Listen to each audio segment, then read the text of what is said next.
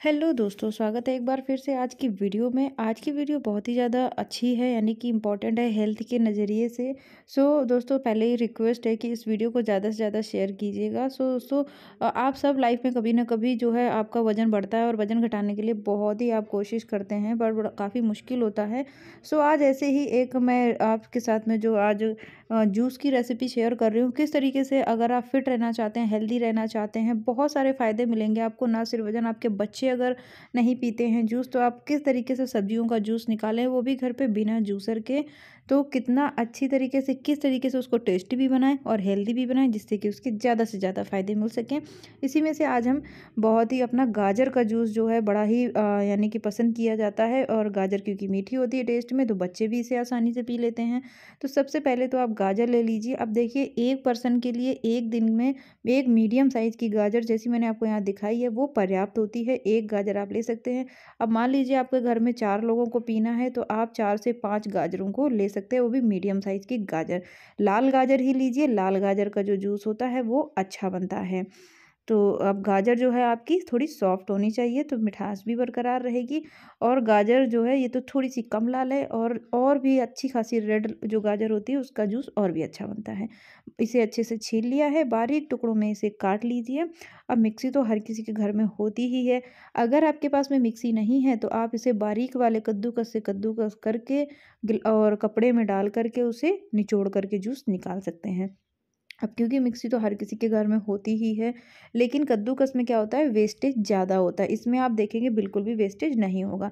तो आप क्या करेंगे? इसमें हम पौना ग्लास के लगभग पानी डाल देंगे, नॉर्मल पानी, और बस इसे अब हम अच्छे से पीस लेंगे, ग्राइंड कर लेंगे। बड़ा वाला जार लेना है आपने मिक्सी का तो देखिए कितना अच्छे से ये पिस गया है। तो हमने पूरा पानी एक साथ नहीं डालना है, एक साथ डाल देंगे तो गाजर अच्छे से नहीं पिस पाएँगी। जितना बचा हुआ पानी था हमने डाल दिया है। यहाँ पर हम एक ग्लास जूस की रेसिपी आपके साथ शेयर कर रहे हैं। तो अब देखिए जो है सिंपल हमारा गाजर का जूस तैयार हो चुका है। तो अब करना ये है कि इस तरीके से एक बड़ा कटोरा या बर्तन ले लीजिए। इसमें रख लीजिए छन्नी, स्ट्रेनर, क्योंकि जूस देखिए जब पीने में स्मूद होता है, अगर जूस में चंक्स आ गए सब्जियों के या फलों के मुँह में तो बिल्कुल टेस्ट बिगड़ जाता है। साथ ही साथ अगर आप स्ट्रॉ से पीना चाहते हैं तो स्ट्रॉ भी काम नहीं करती है, सही से ब्लॉक हो जाती है। कपड़ा रख लिया है, कोई भी रुमाल रख सकते हैं कॉटन का कपड़ा रख सकते हैं, इसके थ्रू छानेंगे तो बड़ा ही सही से छनेगा क्योंकि ये जो स्टील की छन्नी ली है, इससे जो गाजर के थोड़े थोड़े से जो पा, हैं टुकड़े, वो नीचे जूस में चले जाएँगे और आपका जूस स्मूथ नहीं बन पाएगा। सो अब हम क्या करेंगे, इस तरीके से चारों कोनों से उठाते हुए इसे लेंगे और हल्के हाथों से दबा देंगे और सारा जूस बहुत ही अच्छे से जो है निचोड़ करके पूरा निकल आएगा। अब यहाँ पे देखिए, बिल्कुल थोड़ा सा ही ये जो गाजर का पल्प बचा है ना तो इसे भी आप फेंकिए नहीं।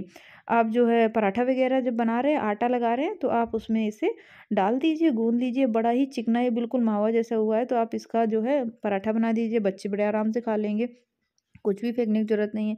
अब ये जो है हमारा यहाँ पे सिर्फ़ गाजर का जूस बनके तैयार हुआ है, अब हम इसमें मिलाएँगे और भी अच्छी अच्छी चीज़ें। तो आप डाल दीजिए इसमें चार छः पत्तियाँ पुदीने की, पुदीने को बिल्कुल बारीक कर दीजिए, इस तरीके से हाथों से तोड़ दीजिए।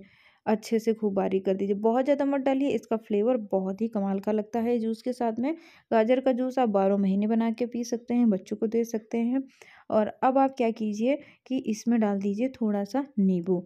अब क्योंकि मैं एक गिलास जूस में सिर्फ़ वन फोर्थ नींबू का रस ही डाल रही हूँ, यानी कि एक नींबू के आप चार टुकड़े कर लीजिए और आपके चार गिलास के लिए हो जाएगा। नींबू बहुत ज़्यादा नहीं लेना है, क्योंकि फिर गाजर की मिठास एकदम ख़त्म हो जाएगी।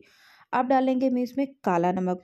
तो काला नमक जो है डाइजेशन के लिए भी बहुत अच्छा होता है, स्वाद के लिए भी बहुत ही अच्छा होता है और जो है वेट लॉस भी अगर आप करना चाहते हैं, उस हिसाब से अगर आप पी रहे हैं तो अगर आप वेट लॉस करना चाहते हैं तो सुबह की चाय आप छोड़िए, कॉफ़ी को एकदम कर दीजिए बंद और इस तरीके से ये टेस्टी टेस्टी गाजर का जूस पीना शुरू कर दीजिए, आपको बहुत ही ज़्यादा फ़ायदे मिलने वाले हैं।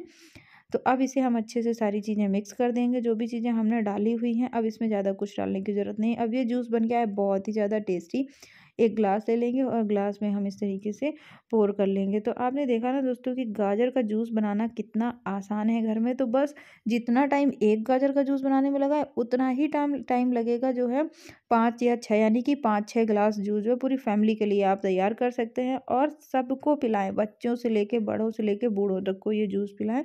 सभी को पसंद आएगा और आपको पसंद आई हो ये रेसिपी तो प्लीज़ मुझे कमेंट करके बताइएगा। वीडियो को लाइक और शेयर कीजिए चैनल सब्सक्राइब कर लीजिए। ऐसी ही आसान सी रेसिपीज़ को आगे देखते रहने के लिए। और चैनल सब्सक्राइब करने के कोई पैसे नहीं लगते, ये बिल्कुल फ्री है।